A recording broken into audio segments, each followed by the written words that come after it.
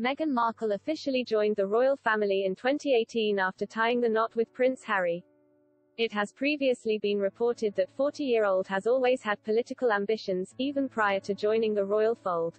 Former Secretary of State David Mellor has warned Prince Charles that Meghan's political ambitions are a risk to the monarchy and claims that he has got serious problems. Speaking on GB News, Mr. Mellor said, Joe Biden has a sister, who seems as intellectually switched on as he is, and she began an interview by saying she thought Meghan Markle should become a member of the Democratic Party and ended up backing her for president. He added, getting back to where we were with Charles, this is where Charles has got problems, first mean, serious problems.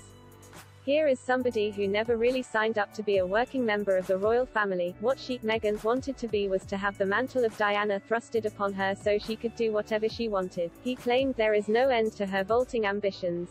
He continued, she was never Grace Kelly when she was an actress. We always think of poor old Grace Kelly ending up in Monaco but she was a star actress, you know, this wonderful woman, that we all so admire, worked on a soap in Toronto but now shush is catapulted into the big league. I think she thinks she could be the President of the United States.